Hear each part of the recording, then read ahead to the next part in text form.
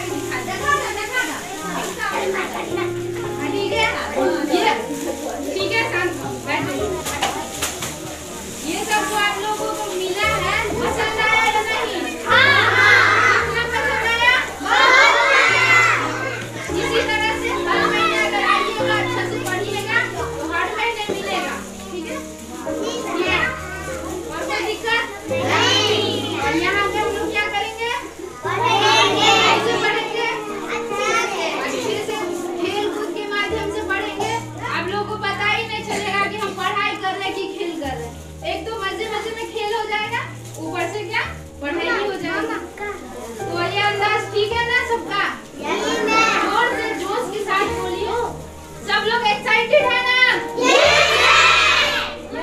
यही हमेशा बनाए रखिएगा। ठीक है?